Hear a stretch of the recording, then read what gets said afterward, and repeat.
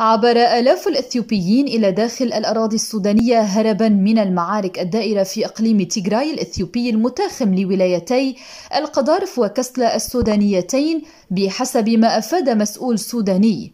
وقال السر خالد مدير مكتب متعمدية اللاجئين السودانية في مدينة كسلا الحدودية منذ الأمس واليوم عبر إلى منطقة حمديت السودانية بمحاثاة ولاية كسلا ألفاء إثيوبي نقوم بإجراءات حصرهم وتسجيلهم.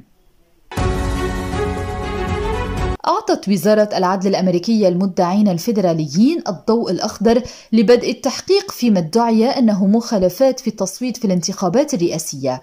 وهذه التحقيقات هي في العادة من اختصاص كل ولاية على حدة لكن وزير العدل ويليام بار قال أن هذه القاعدة ليست صارمة. واستقال مسؤول كبير في وزارة العدل بعد قراءة مذكرة الوزير وما زال الرئيس دونالد ترامب يرفض الاعتراف بخسارة الانتخابات.